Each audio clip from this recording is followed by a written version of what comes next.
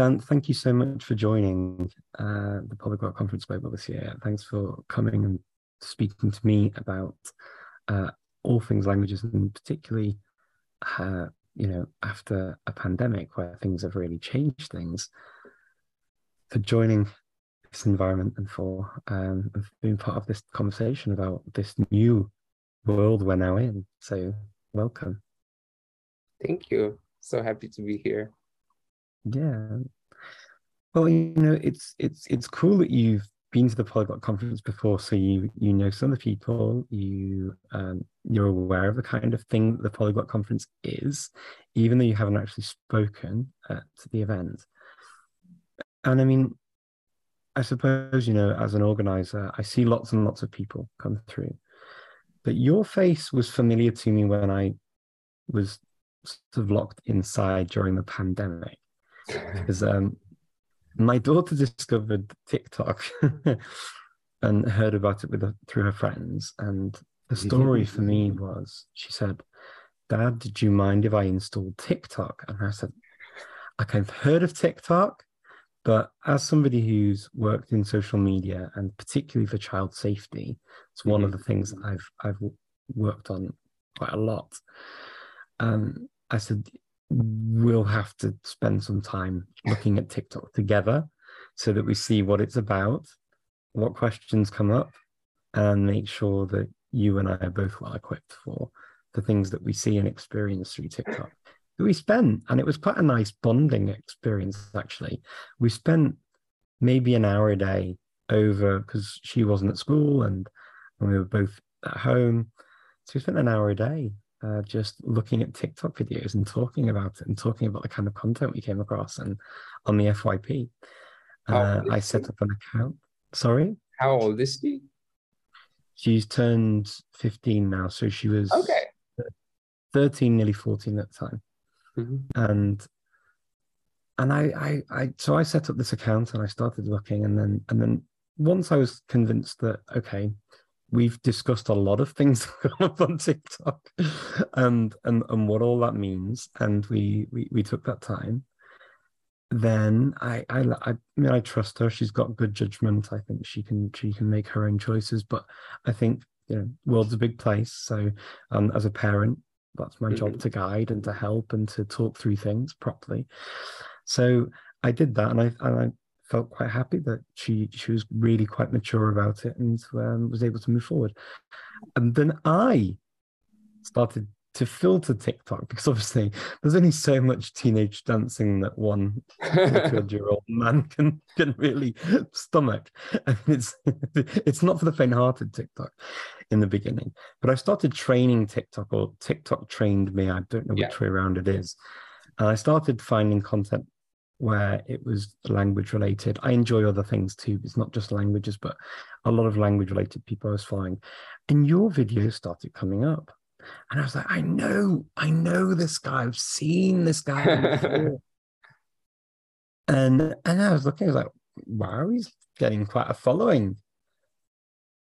Now I've I've I've shared you with you my side of this um, experience. And you very quickly actually followed me back, even though I wasn't really creating anything. And I thought that was very sweet of you. So thank you for doing that because um, you, you you gave me a bit of an ego boost. yeah, no, my experience was like, yeah, I think I don't know exactly how I came across. I think I saw sometimes I like look at like who my friends that create also or like mutuals that create language content follow. And i think like someone you came out like you were like they had just followed you. And then i saw your name and i was like oh that's the richard simcott. And then i just saw follow back in the and then i was like oh my god like that's like a big thing. Like that was a big moment for me. I was like the richard simcott follows me on on tiktok. And yeah it just it kind of was like a milestone of like okay i am like reaching the right audience and like you know i am creating i guess that's kind of why you know i started um i just wanted to like reach i started with like polyglot things um and then i switched mm-hmm. more into linguistics and i think initially i was just like you know having been someone who like was watching YouTube of like polyglots, like speaking in like 20 plus languages, like a teenager and like aspiring to be that. Just like thinking that like maybe I can connect with those people through TikTok, through my own videos was like, you know, one of the things that I was thinking of when I when I first started. Um, yeah, I mean, because the first few videos I think I saw of you were language related and then the linguistic stuff. And I was like, wow, I was really blown away, but just how much stuff you know and the, the stuff you could share on on TikTok. But you also share psychology stuff. And I, I mean I'm I'm fascinated as well by I love science generally. Mm-hmm. So lots and lots of different types of areas of science, and uh, I follow lots of things like that. So I, I really love that you added that to your your channel, and yes. um, yeah. So actually, how, how is that combination for you? yeah. So I'm actually so I have an interesting path because well I don't know if it's interesting, but I guess languages have always been kind of like a side thing for me. Um i so yeah so i mean i'm i'm not a full-time creator. I do this as a hobby. Uh i only post like once a week or something. Uh i'm mainly doing a phd in psychology.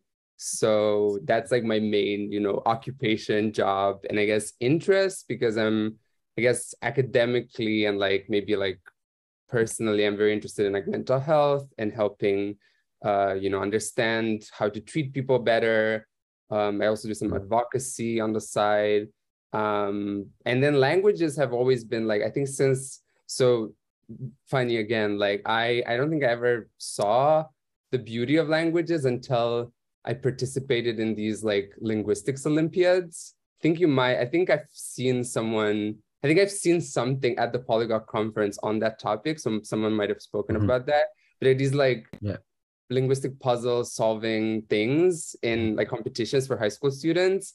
And through those like i participated in the, in the, in the international one and like i met a lot of people. And i just like saw the logic of language. And that's like what passed like linguistics just like the which which is never taught in schools right? Like you never as a child you or, or as a teenager you need to like go to university to study linguistics. But this was kind of like a way to like like just like find feature like understand features of different languages through like puzzles and then you know wikipedia is is free. So i would always just like google like google stuff and like wikipedia stuff and be like oh like you know like different languages have different word orders like not everything is like subject verb object or like lots of like grammatical quirks like hungarian has like 17 k or i don't know how many 15 plus cases and like different endings.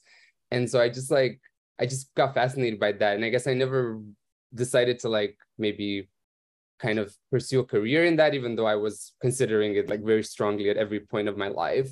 But it kind of stayed as a like as a hobby. And and like that also motivated me to learn languages. So it was actually it was the other way around. Like it's not like I, I only after I saw that languages are like super like logical and make sense. And I guess my brain just works like that. Like it's pretty like I mm-hmm. need like structure so only then i was like wow this is actually so fascinating to learn these things and like see all these different like both differences and commonalities between languages. And i think it made it easier to learn as well. So then i like was always studying like i took some classes like you know russian arabic um the romance language. I'm romanian so the romance languages is mm-hmm. also like that also helped with like seeing the like cognate words and stuff, like seeing the parallels and then making it easier to learn. Mm-hmm. Um, and then um, and then yeah, and then I was always like, you know, I was watching, you know, uh, con- like people who were like, you know, making content on YouTube, for example. Like YouTube was like, I aspired to be a YouTuber at some point, but I think like the main thing for me was it was like such a high bar it was like i wanted to like share things with the world but the effort that seemed to go into making a youtube video was huge like or seemed huge. And i mean i think it is right now. Like people have like super professional setups and like 30 minute videos and it's just it's very complicated. Um i also mm-hmm. like thinking of like blogs and stuff like writing articles but then i was like no one what no one reads or maybe people do read blogs but i was like you know, I was like thinking of like my like maybe my demographic and like people younger than me, you know, like like like your daughter, like those people Mhm. don't read blogs anymore. So I was like, okay, what do people do? And then TikTok became a thing, and then I saw, you know, people there have started had started to make like polyglot check was like the first type of video that I saw, you know, like yeah, basically 60 seconds of like you just like say a sentence in each language and like you it's it's just so impressive because it's like pure you know it's it looks like it's it's it's on par with like dancing videos or like singing videos where someone is just really talented and you're like wow this is like my, i mean even though you, maybe it's you know you can there's ways to do that without actually like you it doesn't mean that you speak those languages but it just it looks really cool and it's so engaging to like watch them and like then people like comment with like their experience and so that's how i was like okay i saw those and those were like filmed in like the you know like in pajamas in your room like it was such a like low effort that i was like okay i think this is when i want to like try like try to you know my youtuber dreams this is maybe where it's where it's going and i'm going to try with tiktok so Yeah, and I mean, and I mean, the pajamas are a good look for you. I mean, they, were they really are. and yeah, and then the psychology, I guess then I was like, well, then at some point, so I just started with this, but then I was like, actually, like, I kind of want to tie it with my like PhD. And I feel like in a way, sometimes I, I find myself being like, oh, I know these things, but I'm not like, I can, I'm not like a, you know, an academic linguist or someone that like has like super deep knowledge of things. So sometimes, you know, people ask me and I'm like, I have to do the research because I don't know. So then I was like, okay, but hmm. you know, I actually like I have much more like understanding of psychology and like because I'm that's my you know field of study. And uh so I was like okay let's try that as well. And then it became this kind of combination of things which you know Mhm. sometimes makes sense sometimes that I, I don't know. I still I, I still don't know what what like people think like does it make sense or not? But I guess it's just you know I have two very strong interests and I want to share both of them uh, and I think some of them, you know, some of the videos are, are like more like the, at the intersection about like psycholinguistics, like how, uh, you know, like how people think in different, like how people think in different languages, if that's a thing. I've made videos about that kind of that kind of things too. So so sometimes they intersect, sometimes they, they don't. But um, yeah, but I think I think it's just it's such a it, it's it's kind of both these things. I think uh and any anything you create on TikTok, I think it's just like amazing. Like it's still like like amazes me how like how like good the algorithm is at like it just sends your videos to random people and you don't need a following like you don't need to start with anything like you can have like Mhm. zero you've your first video you put it out there and it send, gets sent to people and if it's if you know people watch it if people find it engaging then it gets into more and more people and then you end up having a huge reach with like such low effort i guess. And it's just incredible. Like there's it's especially for languages which are such a like social thing right? Where you're like e- each of us speaks at least one language and like has so much knowledge about the language that they can share. So it becomes a thing of like you know i share some things and then i follow all these people who like you probably follow the same people like all these like language teachers that are so Yes. cool like you know there's like i think i have like like thai Chi- like mandarin spanish italian like all like just so many so many like basically every language you can find a, Mhm. a person who makes TikToks about that language. And it's so cool because like I like it, it helps, like it helps even with learning. So even from like even if you just don't create anything and you just like follow people, you, you I feel like there's so much like so much helpful content for learning languages out there on TikTok. And it just reaches you. You just have to like be interested and you trust the process, trust the algorithm that it will just send. I mean, I don't know if you did any active filtering. It sounds like maybe you like click did a more active filtering, but it also like if you just let it let it find your interest, it'll probably discover, you know, everyone here, it will probably discover that like they like Yeah. languages and it will start showing them things like that. So yeah. It, it, it took me about three weeks, I think, of Okay. um, before I stopped getting lots of teenagers jumping around in you know different music and different things. I mean, you know, as, as talented as some of those those kids are, it's not necessarily my field of interest. Um, I, yeah, so I I don't gravitate towards those kinds of things. Although I can recognize, I mean, I actually really like some of the hairdressing ones that pop up every now and again because I this I know it sounds crazy, right? But some of the style videos or the makeup artists just blow me away. So good. Um, right, yeah. yeah, some of them are just uh, really, really impressive. Like the things that they can create, just amazing. So I can appreciate all of those uh, in their own right. I think also the thing is as well that on TikTok, sometimes the language that you follow is not to do with the language necessarily. It's the it's the communication tool. So I follow people who create cookery videos in Italian and Spanish Oh, and different languages as well. And that I find really, really nice. Yeah. And it's it's different topics just through the language, which I also find interesting. That's But one thing you you you did mention, obviously, with your interest in psychology and you're studying, you're doing your PhD in psychological um, areas now. It's it is a good crossover point with language, and over the pandemic, I think I've realized just how how important it is to understand one's own mental health Yeah. and where we are, not just for mental health reasons, but for study reasons. I mean, I think the thing with mental health is, um, yeah, I mean, we do hear for a lot of reasons why it's important.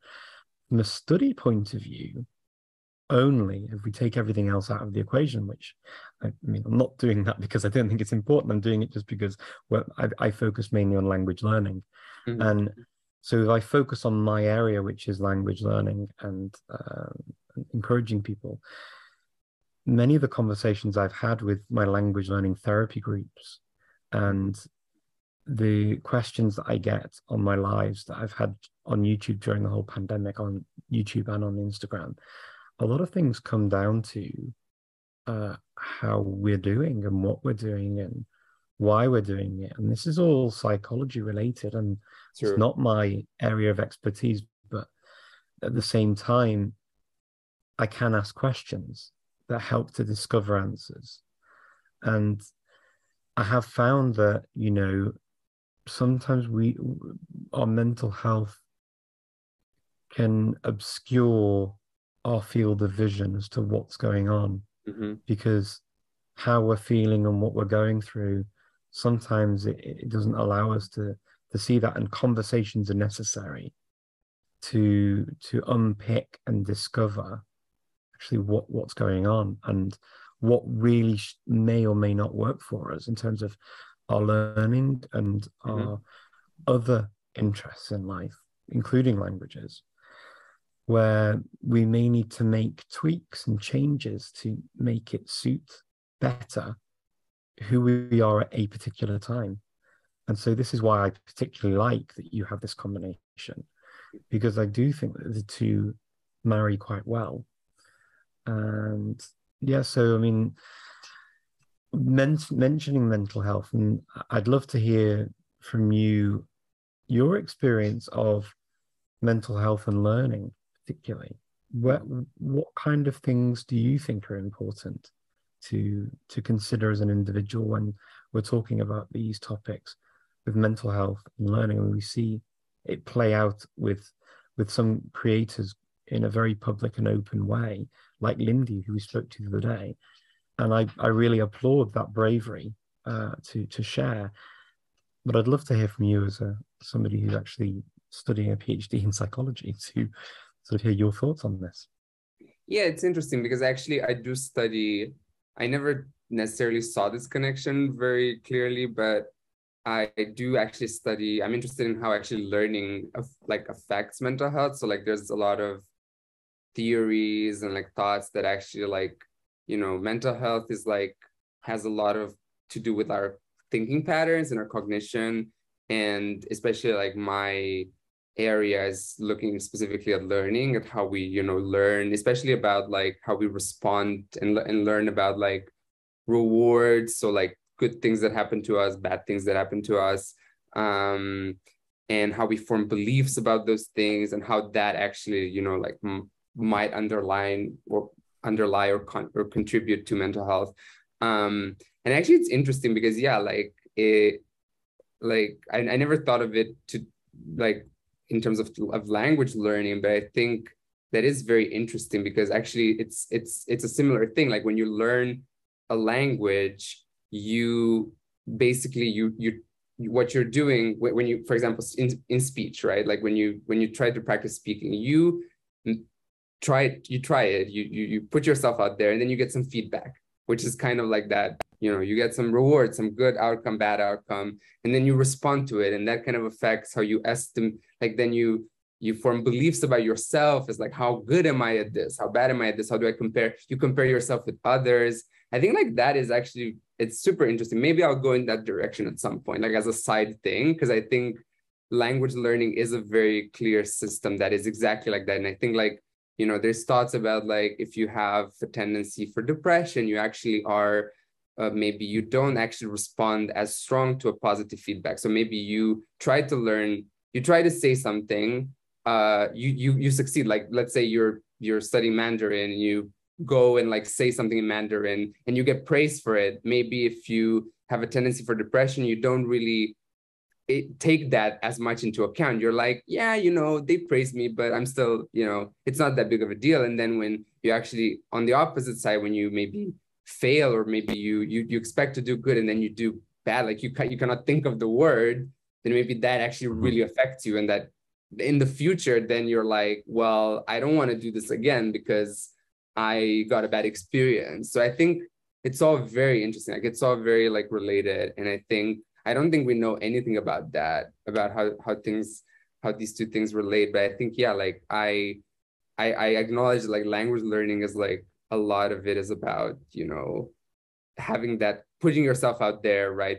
Going through these like there's all these like things that are like, do I have the car? it's it's it's also to do a lot with social anxiety, right? Like if you if you're mm-hmm. someone with like that tends to have social anxiety, you might find it really hard to like go out there and speak and like initiate a conversation even in your own language and it's even harder in a second language. So how are you supposed mm-hmm. to like learn and like or like practice th- that language um, or any language you want if you if you generally have this this like tendency? So i feel like yeah it's like it it kind of compounds. It's such a hard because it's such a like language learning is such a hard task. So all these things like I think very strongly interact with it because it's already so hard and demanding. Like it's like, you know, it's it's a lot of like it takes a lot of cognitive resources, a lot of memory, a lot of this like yeah, like kind of putting yourself out there, like being motivated to like both learn and then like go and practice. So I think yeah, like any like I think mental health so strongly interacts with that. And I think I I it would be interesting if like I'm thinking from like uh a language, a kind of language tutor or like counselor perspective, it would actually be interesting if those people would actually have some training in mental health and actually know, oh, actually there are hmm. things from like you know therapy like psychological therapy that actually maybe there's some ideas from there that you can actually apply maybe you already do like intuitively but i think it would be interesting to like have a um a specific like designed like uh, type of like language therapy, I guess, something like that. I don't know if it maybe it exists already. Maybe I'm talking about something that already exists, but yeah. Well, this this is what I thought of. so it yeah. didn't. It, it as far as I was cons- as far as I know, it didn't exist, and um, I decided that there needed to be language learning therapy. So I started doing it, and um, know you do this. Oh, that's so cool. yeah. This is what I do. so I've been doing it now since January, and um, because I recognize that even though my training and background is not in psychology, um, what I am good at doing is listening to people and yeah. uh, and and talking people through things. I am good at interviewing as well, uh-huh. in terms of some of my training is in interviewing and listening for details and yeah. picking up on things and exploring things.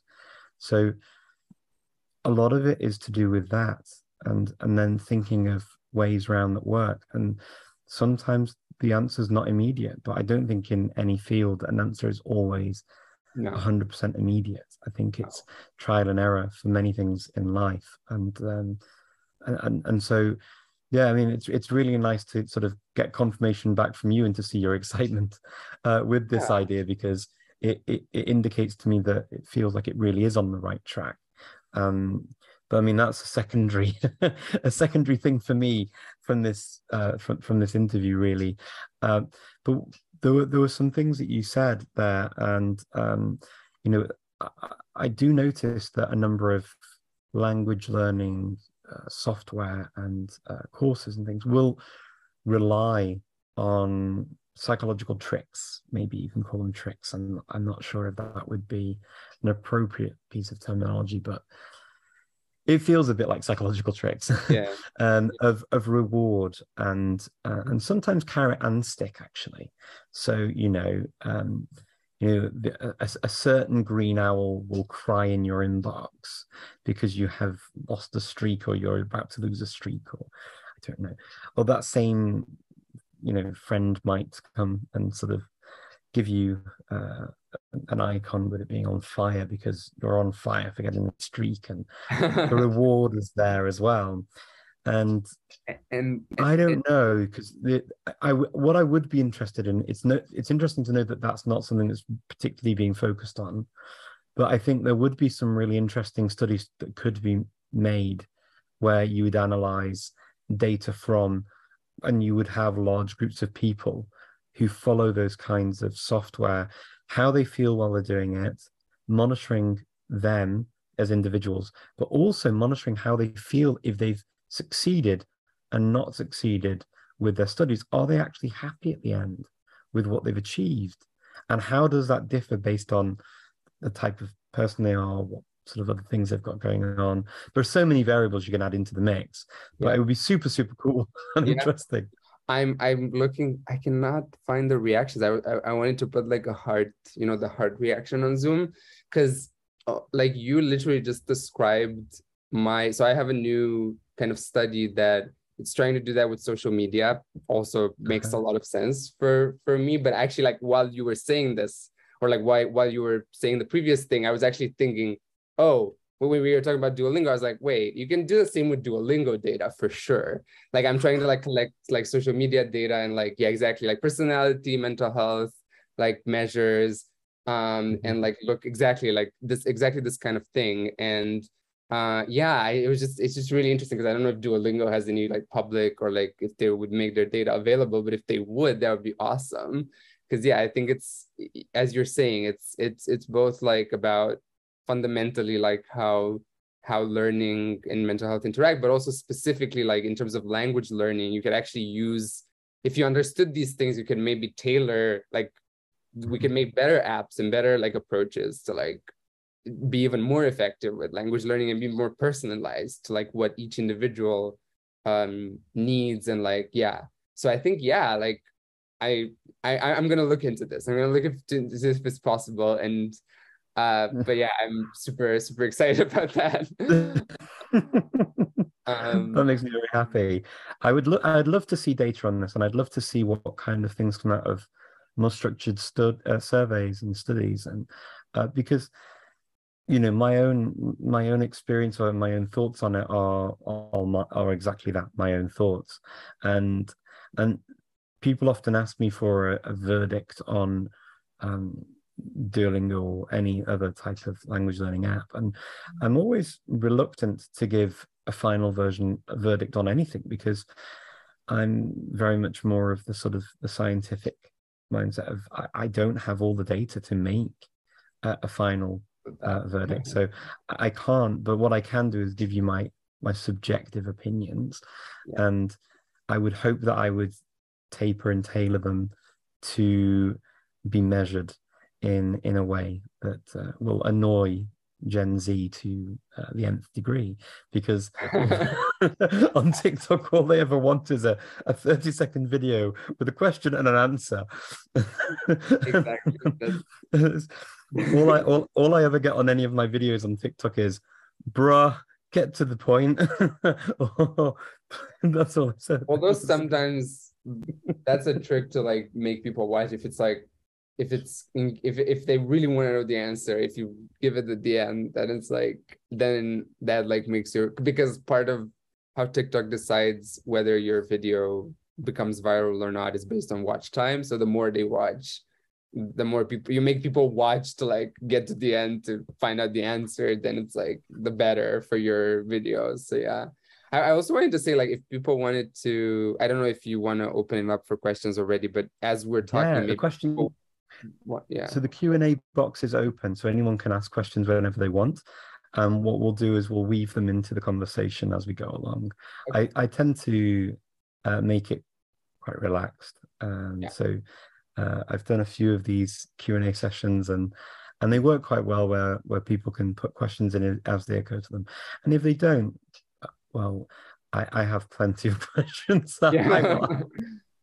yeah. Um, but yeah, I think um, so. So yeah. So and yeah, I'm happy to chat more about like also with the what you were saying so what you're doing now with like the, this kind of language therapy you know if you're curious like if you want to know more about like i don't know what kind of tricks as you said like are used in like mental health like therapies for mental health mm-hmm. then you know we can chat more offline about that and i can um. Like if you're interested in like resources and stuff i think there's some things that, that I could really yeah well, that would be very very nice thank you so much um yeah i'd be very very happy to explore more of that um, the, definitely with uh, the therapy sessions that I've been running since say January, I think it's been. Mm-hmm. Um, things that come up again and again is um, people's feelings of not feeling adequate, mm-hmm. um, where, and I think a lot of it is to do with an education system that is mirrored in many countries around the world, mm. where it's very rigid we mm. we enter into an education system we mm. we learn something we sit an exam we move to the next topic mm-hmm. and uh, it's it's not really necessary that we learn but we yeah. we pass the exam and that's kind of it so that's one issue that we have and that issue as far as language learning is related it doesn't fit and match what language learning is about because language learning is kind of unique in terms of a topic from what we learn at school because right. with with almost any other subject you can allow elements of your knowledge at the beginning of your studies to to kind of weaken a little bit and you can reference back you can read up on things check things you can't do that with a language you can't forget the verb ser and estar in spanish yeah. and, and still carry on a coherent conversation right. in the same way because it gets really messy really quickly and the people have that are listening to you have a very strong reaction if you're making those kinds of mistakes but then talking about the theory of relativity um it, it, it the two things clash right mm-hmm. So you always have to carry this base knowledge of language with you as you move with your language learning. And okay, some some etherical topics you may lose certain elements of vocabulary, but that's more forgivable than learning the base core language itself. Mm-hmm. Mm-hmm. Mm-hmm. Um, and that's one way that language is different. And I think when we're learning languages in a system where we're allowed to do just the exam pass and fail or fail and move on. This is one one thing I find affects people. The other thing I find affects people is that um, what we do at school and what we do when we're studying for an exam often is we give up everything, we cram everything into our brains mm-hmm. for the purpose of passing the exam. Yeah. And if we pass the exam or if we fail, there are two different outcomes. We fail the exam, okay, we fail the exam.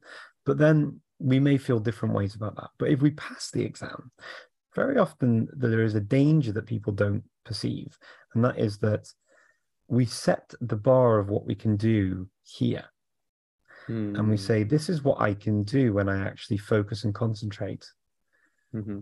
And then what happens over time as we leave school, we believe that this bar lowers down further and further until we expect that to be our norm.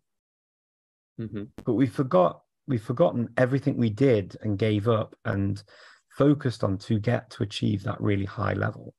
And all of a sudden, this is our norm. And what we're normally doing feels even subpar, sub average because we're not doing what we can normally do. And I think that is one element that I've noticed over the years where I, I see learners say, "Oh, I'm not good anymore. I used to be. I used to be." And it's always the in in the past tense. I used to be able to do this, and when I was younger, and if only this and if only that, and now I've got all these other things going on. Well, you did have other things going on then as well. It's just that your memory looks at things with rose tinted glasses, and you look back and for sure you almost imagine a different reality than what the reality actually was. Does that fit into any of the stuff that you read about and study that put that sort of perception from my side? Yeah, a, a bit. So I'm not. So I, I know there's some literature on yeah, like so the the idea of like self, like what is the self and how how do we make these like self evaluations is like there's a lot of literature on it. I think there is some specifically uh to do with like how we yeah how we compare like we evaluate based on like our past self. So it's like it's not there's like different ways. Like one is like the simplest is like social comparison. We compare ourselves with like people around us in the present. Like we just take whatever we see around us. Um but there's one that's yeah even more like i guess a bit more complex which which is like you think about oh like how was I in the past and am I better or worse than that? And I think like in general, people report that they're better overall.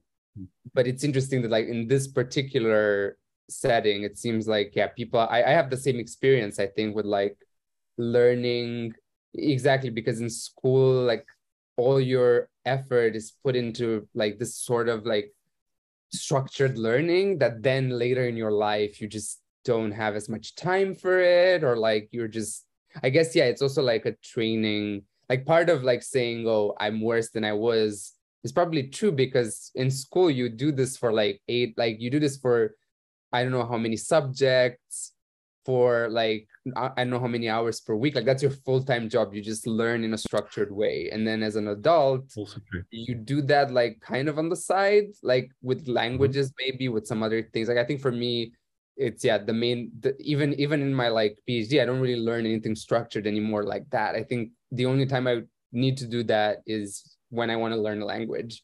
So it seems like that's that's the thing that like we we just like lose kind of skill of as we, we just yeah we we had this like good um eval- evaluations of ourselves in the past based on like we were doing this all the time. It was it felt like very familiar and now it's just like yeah i mean we it feels weird because you're like i don't know you have a job and then like in the evening i don't know i was taking like evening classes at some point right? And like i would like have to like disconnect from like the, the whatever i was doing before and then like do structured learning and then do fit in like homework and your busy schedule that isn't like everything else mm-hmm. isn't structured learning. So it's just like I think it makes sense that people feel that way. And yeah, and also like, I mean, there there is like, I guess it's probably fair to say like, I mean, if it's someone like more elderly, you can also like, there's probably also some sort of cognitive component of like, oh, my memory isn't actually as good as it was.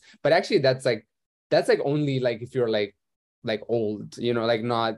I think that there's a misconception that if you're like 30 you're already like you have cognitive decline which is or 40 or which is not true. Like you can learn mm-hmm. languages as a like and you can learn them even like you know learn them all throughout your life but i think yeah like the main thing isn't this like that actually your ability declines. It's that you're just like not trained anymore. You're like yeah.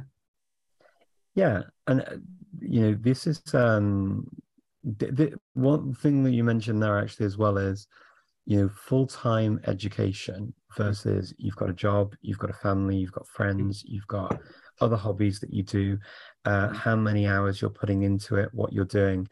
And this is something else that i i also see uh, people and there's a question about competitiveness and i want to link to that second in a second but i want to sort of link it with this first of all competitiveness with yourself because it feels like there's a competitiveness with a former you a former you that you then what you do is whether you're you're doing this with yourself or with other people um, externally, you're competing on an unfair playing field because you don't evaluate what your reality is and what's happening in your life compared to what's happening in their lives or what was happening in your life if the competitiveness is against yourself exactly what yeah. your life was like back then so we need to evaluate what's going on for all of these people right and that can that can include mental health that can yeah. include physical sickness as well you know you're yeah, actually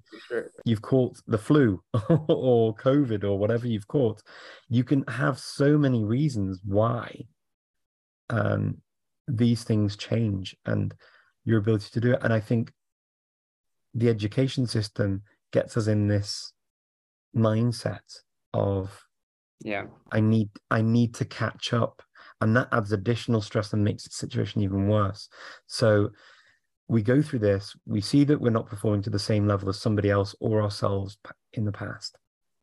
But instead of giving ourselves a break very often i see learners not want to continue because they feel very disheartened.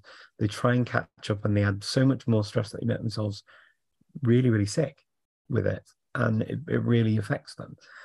Um, is this something, for example, is there a way of turning off this competitiveness? Is there a way of dealing with this in a in a healthy way, whether it's competing against other people who are just over the top competitive and you're feeling really bothered by it, like anonymous attendee commenting here, um, or is it is it, you know is it just a hard slog? Have you got any any thoughts or tricks? Or... Yeah, I mean, I think what you said is like very very on point. That you want to like instead of taking them as a like like simple signal of oh they're they're just me but better you have to mm. take into account all the differences between like maybe where they come from where you come from and like yeah maybe like i think just taking integrating more things and being like well okay they might be better at this but you know they might have had like more like they they might have like more opportunities to like take lessons and like you know pay for like tutoring and stuff like that um, one example like they might maybe exactly as you said like maybe you know if you've had a period of bad mental health you shouldn't well, uh, well that's that's a that's a completely in a in an ideal society that would be a completely that would be on par with like physical health. You know if you were like in bed hospital if you were in bed because you like had a flu you wouldn't hold yourself accountable for not like for not being productive for that week when you had or when you had covid right? I mean i, I don't know. I, I think people don't do that but if people are depressed they hold themselves they think it's their fault that they're not catching up. So i think like thinking of that as like well that's just my situation and i've been not well so i could not be as competitive as this. I could not do as much in this period as they could do and yeah and i think like focusing on like your own journey like i mean mm-hmm. so yeah i mean there's there's a there's a there's an argument in psychology that social comparison is useful is adaptive like we do it for a reason it's useful for us because we also like to do the other type of social comparison which is downward so there's it's mm-hmm. upward mm-hmm. when we look at someone that's better than us it's downward when we look at someone that we perceive as worse and we like to do that to feel better right and we don't like to look up but I mean, I like ideally, like the I guess the ideal thing is to just not because to just not do any of this because it's really hard to compare your own journey with them. There's so many variables playing into account, and I think like I yeah, my own the way I approach it is very much like when I feel like oh I'm like so competitive, like I feel so envious on this person. I'm just like you know I have my own journey and I'm going to use this instead of being envious, I'm going to use this as motivation. I turn, I'm turning that envy into admiration. I admired them and let's see, are, do they do something? Do they have any strategy or anything? Is there mm-hmm. anything that I can learn from them basically? Instead of like, okay, I just, I cannot, you're, this is like toxic and I cannot stand you. Like, just, okay, I acknowledge that you're doing better right now. I'm not feeling bad about it because you might, there's other things going on and I cannot compare fairly between us. and i'm just wondering okay is there anything that i can learn from you maybe you did something maybe you like learned a strategy from someone else or from some source that just worked for you and i didn't have that strategy because i didn't i don't know i just didn't come across it or i, I wasn't as mm-hmm. lucky and i just want to like better myself through these people so i think yeah like a lot of like in competitive places like basically like the more like if you go to competitive places there's always this like okay i'm it's worse for my mental health if you see it as like a competition but if you see it as like these are all really good people. Like here you know these are all polyglots really smart people that learn languages. Instead of me being like well i they learn they know more languages than me they're better than me i'm going to be like well what can i learn from these people to better myself and like be in my own journey? So i think that's i think that's how i would approach it. I think i'm not sure if again this is this is kind of anecdotal. I don't know exactly what the literature is here or any like science behind it because it's not exactly my field. But i would think that like i would my hypothesis is that if some if someone tried to do this in a like setting and like tested the effects and it would have positive effects like uh, yeah. a strategy like this. I think yeah. Um so yeah i think that's that's um that's my long slightly long answer it's a good answer it actually fits in well with the comment that we got from Hadrian because uh, she's also said that she finds that language learning for her is the opposite. It's actually a motivational thing, and it's the thing that keeps her healthy and keeps her motivated, keeps her keeps her driving forwards, which I think is is the experience of a number of people too. Um, the interesting thing with with the language learning community and like many communities is that it's a really mixed bag of different people with different drives, motivations. It does make me also consider um, perception. Perception is another thing that's come up again and again over the last couple of years, especially because being online a lot more during the pandemic has really highlighted to me people's perceptions of themselves and of others and how they can get really skewed. Um, and I think because, and I talk about this a little bit on my channel, uh, quite well, I talk about a, li- a little bit, a lot actually. Um, we've got people because people tend to put the really best and the really worst of their lives online, mm. and the kind of the, the the the larger bit in between, the mundane, the everyday, the ordinary, I guess isn't really something that people consume in in great quantities online because you know it's not that interesting for people yeah. and if you yourself are not motivated to describe it or to to put it online it shows that probably you wouldn't want to consume it either. Whereas we do put the really really bad stuff on and we do put the really really good stuff on. And um, i think what that does is often also skews our perceptions of what people are achieving and what they're doing and what their lives are like. And that also plays into how we then feel about ourselves because like you say people they look up and look down depending on their perceptions of who else is in their field right? They will yeah. they will see. And some people will see for example I, I could take the the attitude okay well i'll i'll never study um korean or japanese or chinese again and try and get really good at them because there are already many many people who speak them way better than i do now, I could take that position, but if I do, what am I actually achieving with that? If I want to do that, well, not very much.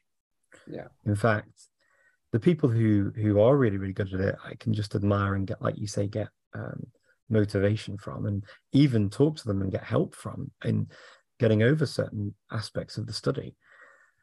And the gradient for when we learn anything, particularly languages, is it tends to go like this in the beginning and it slowly starts to taper off because as we get better at, you know, sort of more accurate with the grammar and manipulating the language, and we still are always going to have these sort of high level words, expressions that we need to learn.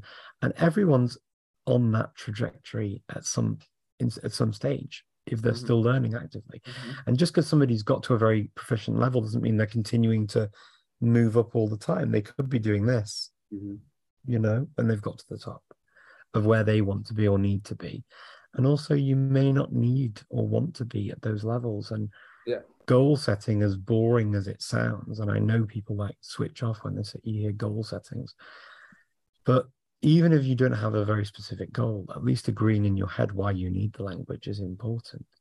Mm-hmm. um, yeah uh, yeah I, I mean i I think with learn with I have the same experience as as Hadrian with with and and with learning languages. And actually like for a while I was struggling a bit in my undergrad with my mental health. And actually like it was the exact same thing of I I, felt like other things didn't work. Like I guess like my the school itself didn't work. Like I didn't feel very I didn't feel like I was doing very well. I didn't feel very rewarded in a particular mm-hmm. time. But then when I was trying to do lang like when I was going and like you know learning Russian for example I just felt like I just could see you know I'm getting better uh, at something. I'm i'm learning something and it's working to some extent. Like i'm i'm you know i'm getting better. I can see like compared to a month ago i'm better. So it just it just really like helped to like get those rewards from this source that i could not get from you know my other my main i guess activities. So um i think yeah i think that's that's really good. I, I think like that's the you know the healthiest way to use it i guess. Um if if you have the luxury of not needing i guess to like a lot of people obviously need to learn languages for work living um if you just learn it for fun then i think that's the healthiest way to do it it's just like you know i don't have specific goals i just like pers- i'm just you know i think every time i learn a new word or like a new phrase i just i'm like I'm fascinated by it and I just like take that like that's my reward. I've just been, you know, I've learned something. It's amazing. I know it. I may, I might forget it, but that doesn't matter. I've just learned it and I'm happy about it. I think that's yeah. kind of how how it works for me. Yeah. I love it. Daniel, just to sort of wrap up the conversation, um, Daniel has written in here that he also recognizes this comparison that we have of picking things up later things that are even similar with his particular example is with music um, picking up the guitar and forgetting how much work was involved and i think that that is definitely you know what i was talking about with when we go for a test and we pass it we remember the result but we don't remember the work we put in mm-hmm. and what we gave up and what we did to mm-hmm. achieve it but we make it almost like feel normal and it's interesting you know with musical instruments i can totally see that comparison daniel thank you for that and it does it takes it takes ages and we do forget because I think the, the, the mind, the human mind is quite interesting in that it, it, it's got its own mechanisms to deal with situations that we're in, right? That we, you know, to whether it was a hard task or something, the, the, it could even be perceived as a trauma or a type of trauma to get through something at some stage in our lives, and the brain will tackle it in different ways. And whether that's making it feel like it wasn't as big a deal as it was at the time because so it starts to forget the, the more painful memories of sure. of putting all that hard work in and staying up late and, yeah. and it sort of blends it into more of a normal experience yeah for sure i mean yeah all of basically a lot of our mind and cognition is basically uh it's kind of like a, a trick that works most of the times but sometimes has these like failure modes. Like it's good to obviously forget it's it's, it's good to forget to some extent like you don't want to keep track of everything that won't later be relevant. Like if you've learned something it's not that important or it, it can be like